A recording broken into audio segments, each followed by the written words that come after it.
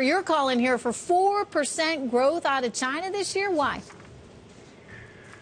Well, I think that we had a colossal credit bubble in China, and that this credit bubble is now being uh, gradually deflated and will bring about uh, problems in the real estate market and among some uh, major players in the commodity markets as well.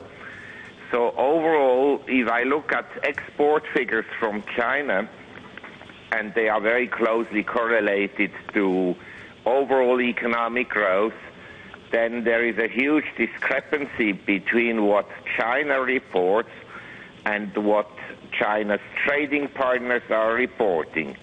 So if you look at the figures of China, then exports are still growing. If you look at the trade figures, say China exports to Taiwan. So China re- records exports of so, so, so and so much, but Taiwan reports imports from China at a much lower level.